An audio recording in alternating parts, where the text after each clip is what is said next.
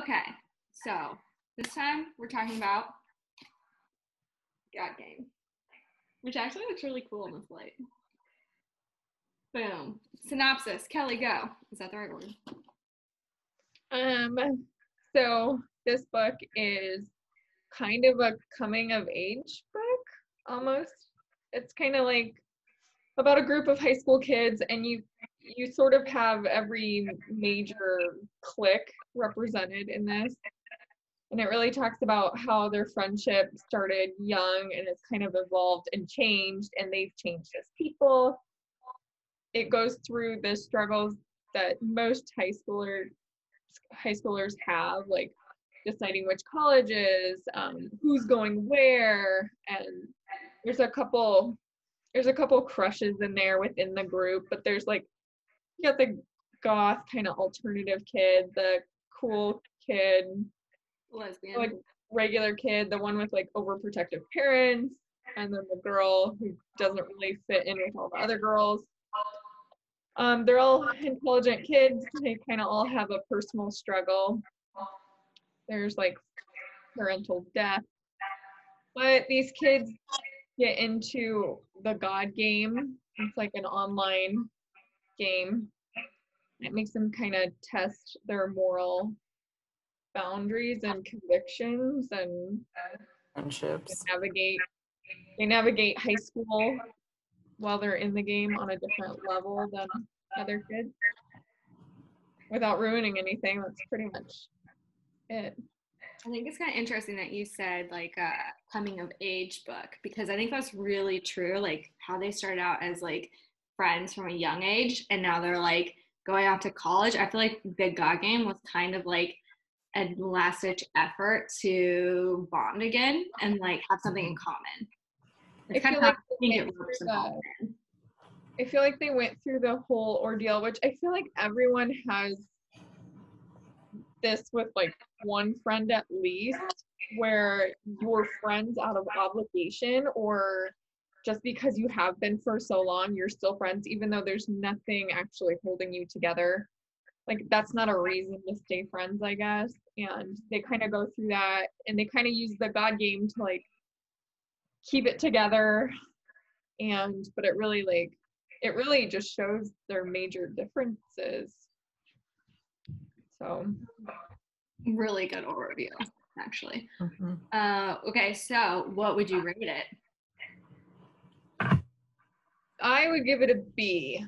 I would give it a b because Like a solid B? like a solid b. Um i wouldn't read it again. It was a little bit um it was very thrilling but it was a little bit dark and a little bit scary. It took a dark turn. Like throughout the whole book i was always like all right there's the whole big aspect of religion which i mean it was interesting. It's just not i don't know reading high reading about high schoolers navigate religion and then mixed with the dark element to the book isn't really my thing but it was really good it was a fast read i mm-hmm. wanted to keep reading at times so but I, it was a little scary for me What about you, Liz? Rating, go. I think I'd give it a B. I would have gone B minus, but I like it kept me guessing. Like I couldn't figure out if it was like set in the real world or like it was gonna have like a magic twist or something at the end. And I think it was had an interesting twist, but it wasn't what I expected. So I'll give it a B. The thing that I didn't realize and took me forever to understand though was like the game, like it's an online game, but you have to do things in real life to get points. Mhm. And so that was really interesting. Like you could do good or bad things and like get points or get black points. I forgot about the blacks. yeah Yeah. Yeah. me too it was really interesting i get the whole point dilemma i went through that in my childhood so so I've been personally really scared hit by home. points. Personally victimized. Yeah. that meme, raise your hand if you've been personally victimized by points. you guys are better for it. You're so lucky. Says the one giving out the points. Yeah, you didn't lose any points for not jumping off a roof. like, what are you talking about? Madeline did it. You could do it too. I'm still alive somehow. Andrew, what rating would you give? Um, I actually really liked it. I would give it a B. It, I wouldn't read it again, I don't think. But I also agree with Kelly that it was kind of dark. Mhm. And although, like, every time we stopped, I always wanted to read more. So I was always excited for the reading. Mhm. So I definitely think B is a good grade for it. It's definitely very interesting because it, I never quite knew what was going to happen. Yeah. Like some books are predictable. I did not think it was that predictable.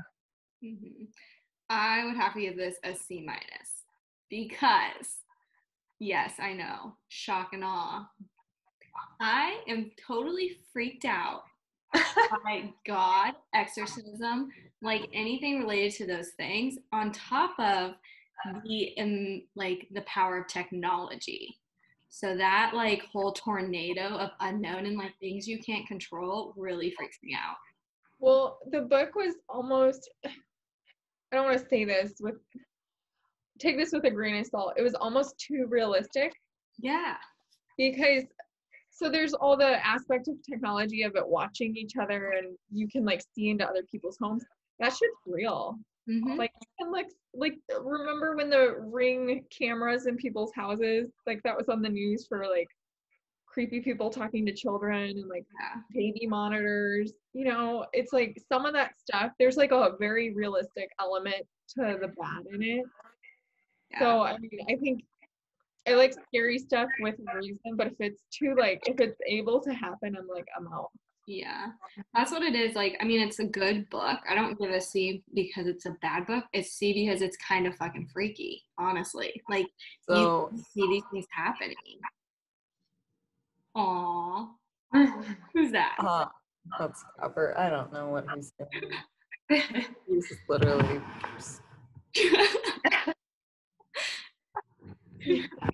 so the the like biography of the author might freak you out then.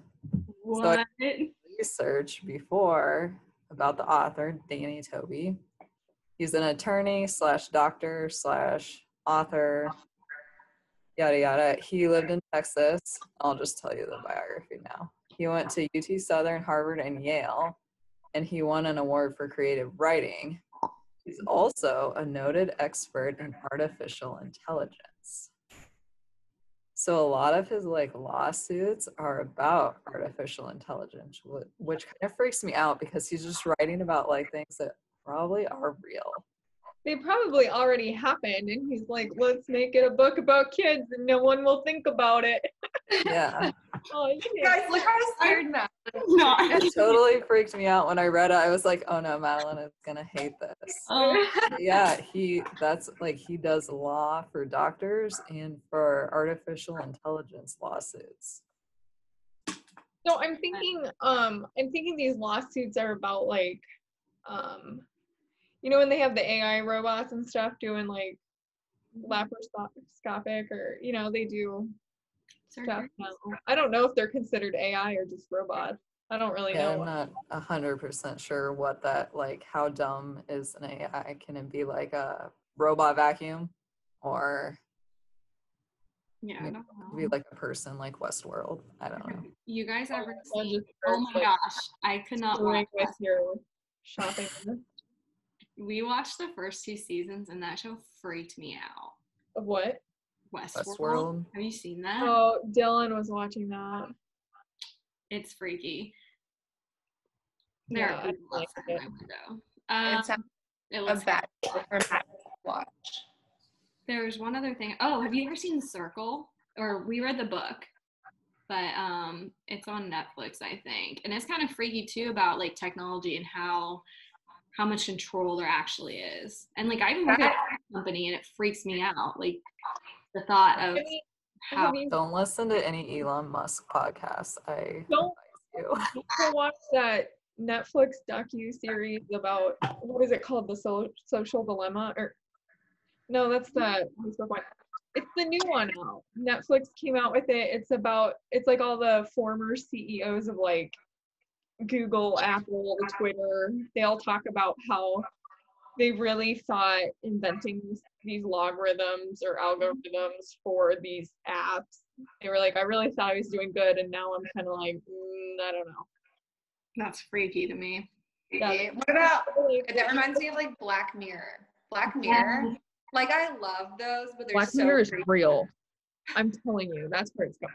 Did you see the one where they can record what they see? That is so freaky. That is so freaky. I just that would be so bad for me because I'm I'm such like a paranoid person. Mm-hmm. I would watch everything back over at the end of the day and be like, God, you're so awkward. Why did you do that? And I just Why did I say this? No, Black Mirror is like too real for me. Like Mm-hmm. that's all stuff that could potentially happen. Like I don't know what country it was, but there was a country beta testing some like facial recognition software of like just their citizens walking down the street and it gives them like the 411 on like their stats or whatever. And I'm like, come on. Scary. Yeah, I don't So know. how much did this book freak you out when you read it, Madeline? A Like a- lot. Like I don't. I mean, I, I wouldn't think Courtney was freaked freaky. out too. Yeah, but I'll tell you.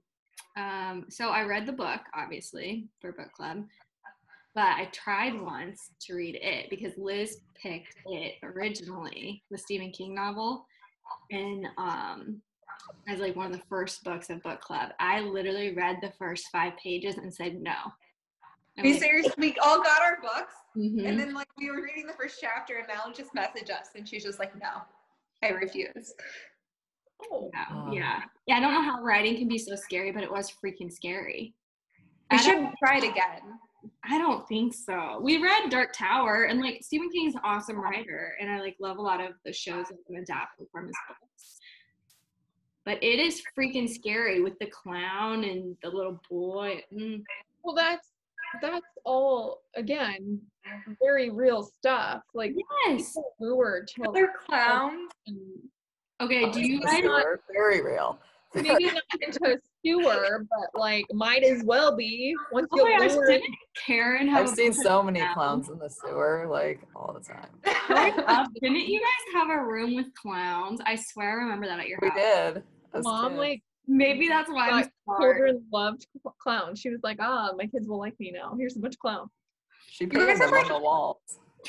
Right, Did you guys have like porcelain dolls of clowns up in your room? Like Yeah, above we had like a clown room when we were like, No, it was like a circus. It was decorated. yeah, it was a circus theme. Like the wallpaper was clowns. Maybe that's why I hate primary colors. Corey's really creeped out right now. Maybe that's why I hate primary colors. If anybody gets anything for um my kid, I'm always like, not primary colors. I hate those colors. Yeah, because that's all they have for the paint markers. So they use those paint markers to make the clowns on the walls. And then we had like clown blankets and Why did she think we liked clowns? Was one of us like, hey, my favorite thing is clowns? I don't think so. I don't know. Because I remember Grandma made the blank, the quilts with She just runs with stuff sometimes. I don't know. It was probably one of those things where one time Andrea mentioned she liked clowns, and then Karen ran with. it. We had to be clowns for Halloween. once. Remember that? Jokes on Karen. I was. I remember I had the rain like traditional rainbow clown wig. I- And then after Andrew was done, since I'm number two, she made me do it too. we should post a picture of that. Yeah, can we? I can try to I don't I know I have a picture of me, but I don't think that was when Kelly was in. Overall, I would say it's a very interesting book. Like it's very, it was a very intriguing like plot that I hadn't read in any other book. You know, Yeah, it was different than all the books we read, I would say. I definitely, really. I definitely think it could be like an episode of Black Mirror. Like it's in line with that stuff. Oh yeah. Or somebody when I was like doing research said Stranger Things, but I have never seen that. So Okay. I mean, I could kind of kind of see that. like less magic-y. I think Stranger Things is like magic kind of based. And what is it? So I just had it. Uh, the show on Netflix. Black Mirror. Yeah, Black Mirror. That like totally escaped my brain. That's all seems to be like based in our world though. Yeah. And God Game's Yeah. like based in our world. And it was like all different people, so you could pick someone that you related with too. Yeah. Like they were all very different people. Like one guy's a jock, one guy's gothic, and they were all different. It was very interesting, like and Oh, I forgot about the whole like um creepy interesting. What was her name? Mary and like oh, her Oh, whole yeah. Mm-hmm, was she the Oh. or did I just assume that? But like There were a lot of storylines going on. Yeah, there were a they had, like, everything, like, you know, there's always somebody whose parent died who's struggling to cope with that. Mm-hmm. And then like the girl likes him, but like for appearance sake, like it's all very realistic, like their relationships and stuff. Mm-hmm. For sure. I would I've- recommend it unless you don't like scary things, then don't read it. But It's not I bad. would, I would say I would recommend it to people for sure. Mhm. I thought it was really good. should we do Hatchet next week? Yeah. You can. I feel like there Yeah. should be a warning to people. You like decorate your kid's room with clowns and they grow up holding hands with a skeleton, like you see Kelly doing right now. No, I was like, I was like, yeah, it was super creepy. Meanwhile, I'm like holding hands with him. like. You're so festive, Kelly. yeah, this is just my life. People are gonna think we're those people that are like obsessed with Halloween and stuff. Like year round, they're like relating everything to Halloween. No, this is my husband. He died in a car so I just took his bones and put them together, so he'll never leave me.